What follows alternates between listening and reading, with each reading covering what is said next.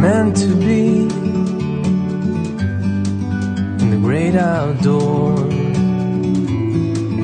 forever free.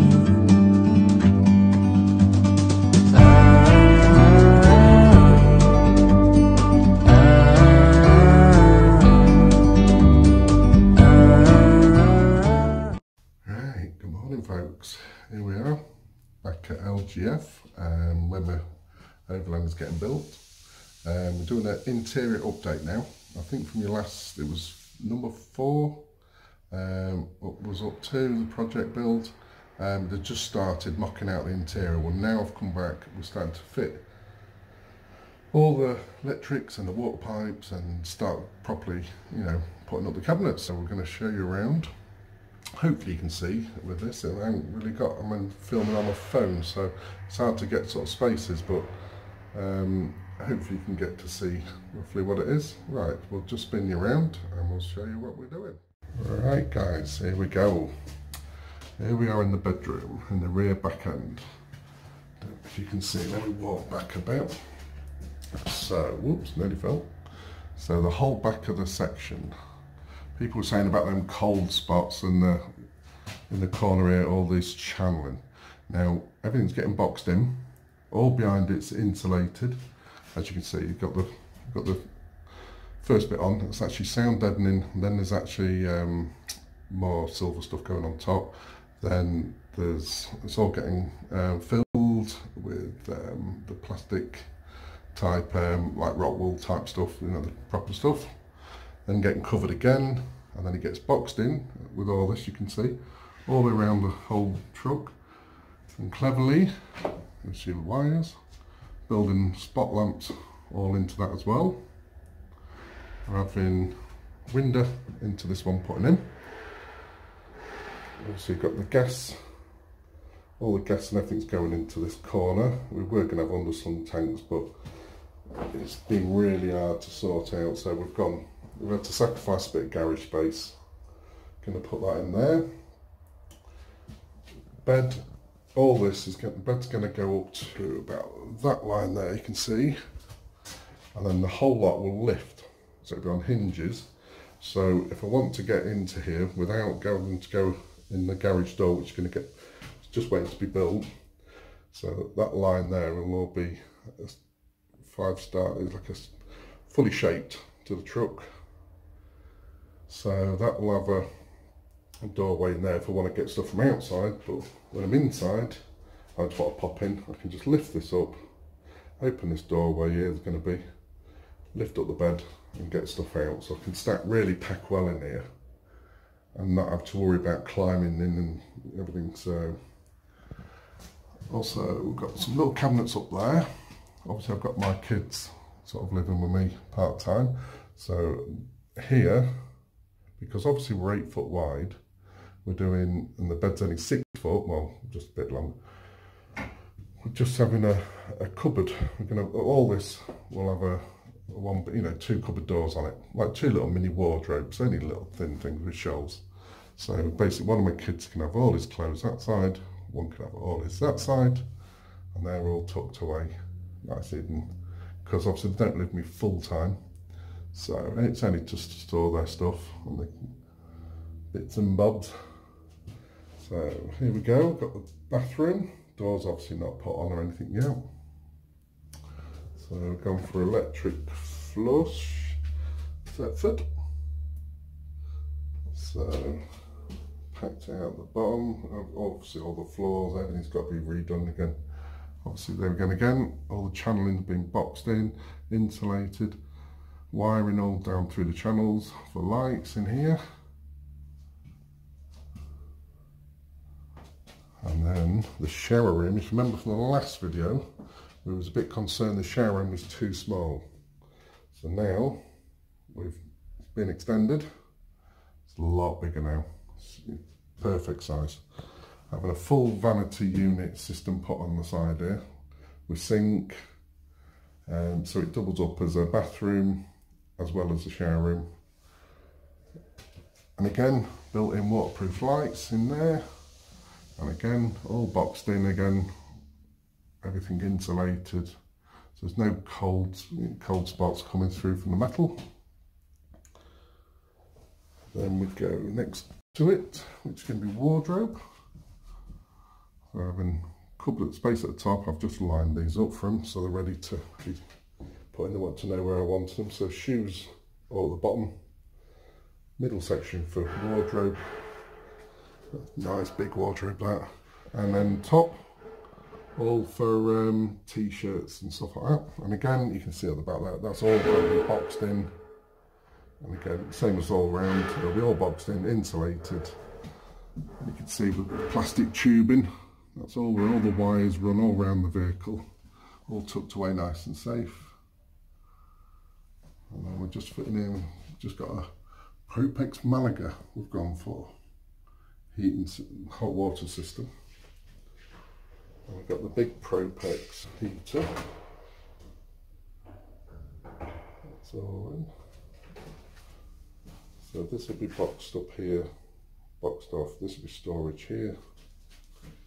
And then in here, there's going to be a lot more storage, but then all the electrics, everything's getting hidden. All behind there. That's not the battery, that's just testing. We're having cupboard space here for access into it. All the electronics and the computers, everything going in there.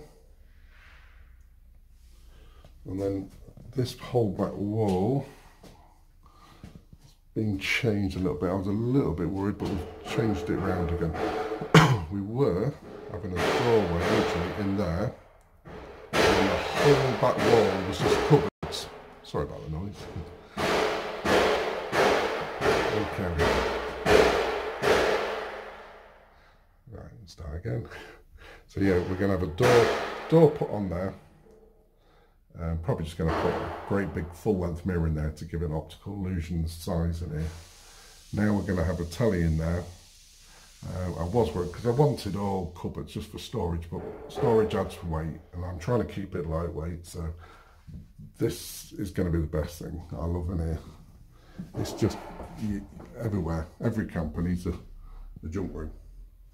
That's going to get another shelf in there. So all the wellies, boots, everything in there and then fit all the coats, all the dog stuff, everything can all fit in there. So it's all got its own place. All these all my food storage. Similar layout to in my camper at the moment. So you've seen the window. Oh, don't worry again, people. All the metal work is all going to be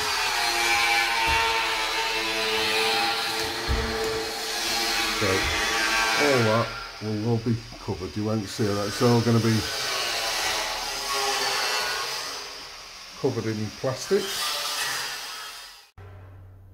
Go. Gone for the Thetford. So it's all got the grill, everything all built into it. Oven. And then got lovely ring. got three rings on there nice splashback on it as well.